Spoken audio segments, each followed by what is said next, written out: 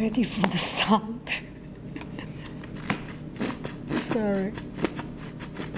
Running out of color.